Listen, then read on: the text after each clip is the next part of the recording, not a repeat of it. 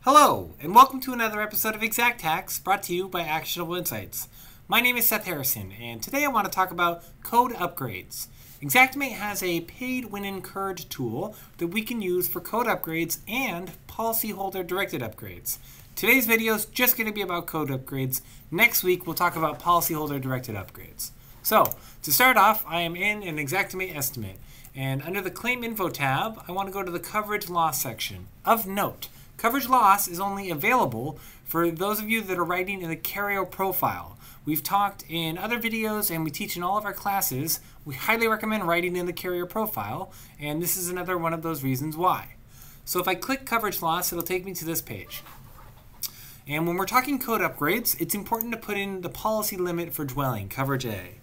Let's say, for example, it's $500,000. Why is this important?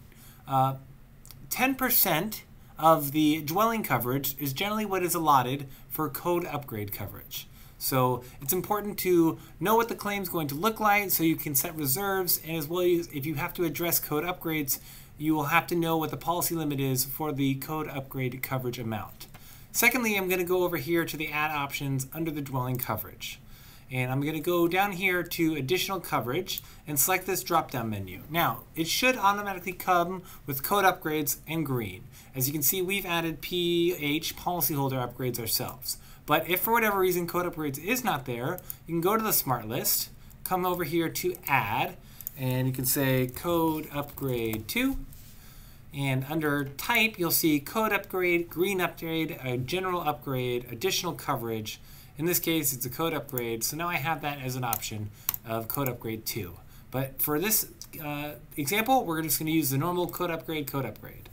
Uh, secondly, we have our aggregate here. Now, 10% of 500,000 is $50,000, which is saying that for this policy and in this claim, we have $50,000 available for code upgrades.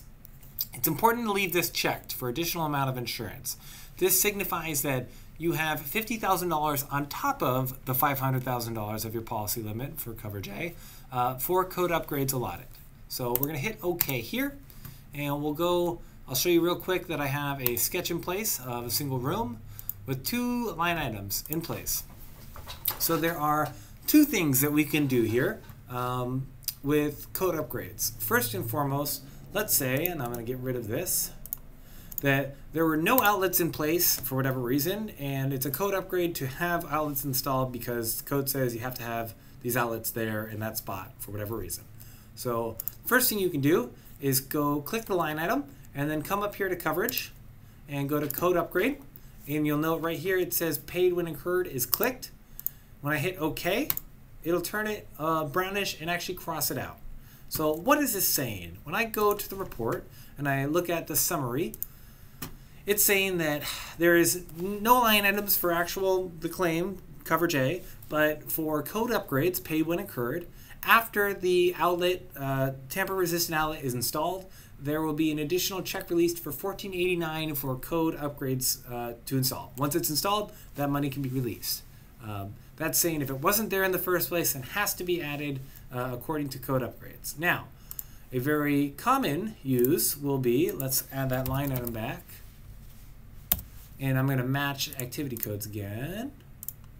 Move this up in front of it. And I'm going to take off I'm going to leave that, but now I'm going to go here to associations. So in this example, we're saying that there was an outlet in place in the first place, and the insurance company is allowing uh, the uh, LE, ELEOS replacement line item as what they should cover for what was there in the first place. But due to code upgrades, you're going to have to install a tamper-resistant outlet. So I'm going to go here and I'm going to click Associations, and this will come up, and I'm going to select ELEOS. Once I hit OK again, now, both line are brown, but only the tamper resistant is crossed out. What does that look like on our report? If I come back here and click View, you'll see it's 1273 that's allotted as part of the claim for the outlet that was there existing that was lost in the claim. But there will be an additional $2.16 released once the tamper-resistant outlets have been installed in accordance with the code upgrades that were paid when incurred. Um, if you have any questions regarding code upgrades, and uh, please comment below. In the meantime, like, share, subscribe. As always, Uh, we release Xact Hacks videos every Thursdays, and next week we'll be talking about policyholder directed upgrades using this paid when incurred tool. I hope you enjoyed, and I will see you next week.